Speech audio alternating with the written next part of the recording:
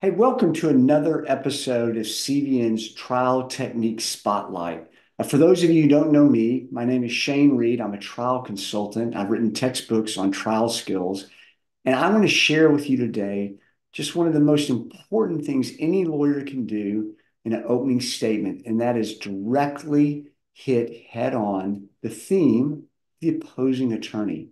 And this case today is very fascinating. We're going to look at uh, attorney Frank Bayuk, who is representing a toddler who was severely injured in a rollover of a golf cart.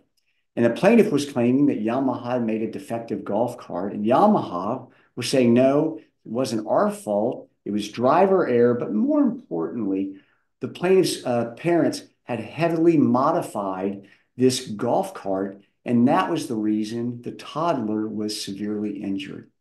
So Frank Bayuk, the plaintiff's attorney, in opening statement, not only does he have a great theme to undercut the opposing attorney's theme, but he has a great video. So let's watch the video, then I'll give you some thoughts about it. Because again, we know Yamaha is going to ask you to blame the modifications. That's actually their burden of proof. We have the burden to prove Yamaha made a defective product. Yamaha wants to blame everyone else but themselves. They have the burden to prove to you that anyone else has responsibility besides them. That's their burden of proof, as the court will instruct you. And so we had Mr. Rogers at the scene test the golf car with none of the modifications on it to see what happened in real life testing, exactly as Mr. Hall would have encountered in May of 2018. And you all have heard the expression, a picture is worth a thousand words. Well, that's true, a video is worth a million. This is what happened every time the vehicle was tested at the scene exactly as designed with two-wheel braking. I'm going to show it to you first in slow motion.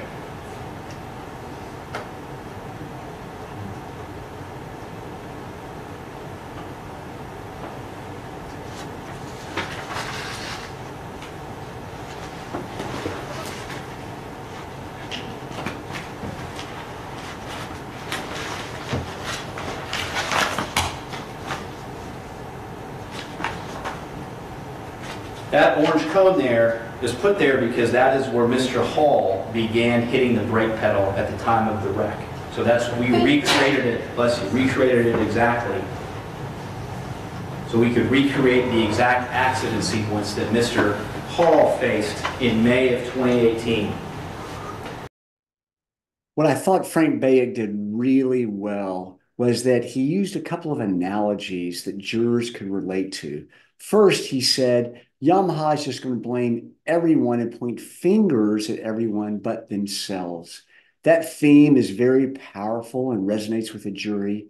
He used another great analogy about where we've all heard that a picture tells the story of a thousand words, but I'm going to show you a video that's worth a million words. Very powerful images. That's something that the jurors going to remember for a long time. And remember, jurors are making up their minds very quickly that's why it's important in opening statement to get your theme out and undercut the opposing attorney's theme.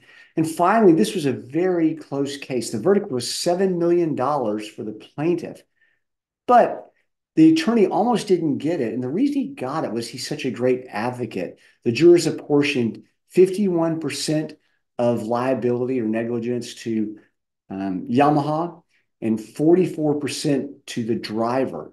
I mean, that's how close it was. And then under Georgia law, the plaintiff got the full um, recovery as if Yamaha had been 100% liable. So with that, um, I hope you've enjoyed this segment. There are lots of great videos on CVN to learn a lot more from. If you want to learn more about myself and my trial tips, go to the link below at my website or connect with me on LinkedIn. I look forward to seeing you here next time on CVN's Trial Technique Spotlight.